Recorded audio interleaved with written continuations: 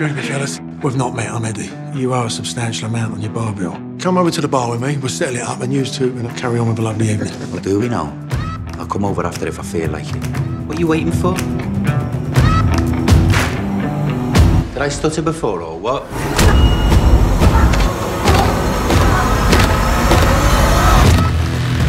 There he is. Oh, come on, bruv. We should be celebrating, shouldn't we? Come on.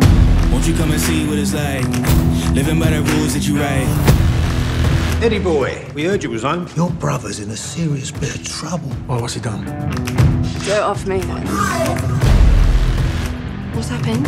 Are you in trouble? How you want it, man? You can choose. If you can't take the heat, don't light the fuse. Where's our money? Look, Roy. You bowl up here bold as brass and tell us that's how things are gonna run. Who do you think you are? Some kind of villain or something? Came here ready to fight on this night. You better just run for your life. I mean, you ain't real men. All you've ever done is suck and feed. First one in and the last one out. Whoever owns the place gotta drag me out. Please don't do this to me, bro. You better just run for your life. I'll tell you what. Let's leave it to God. No!